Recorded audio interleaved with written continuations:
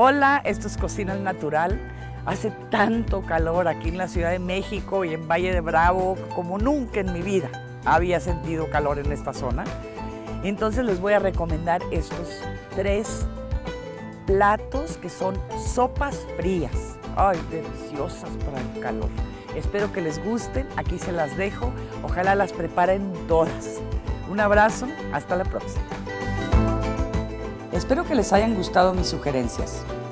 Aquí les dejo los tres videos que les prometí en los rectángulos. En el círculo se pueden suscribir.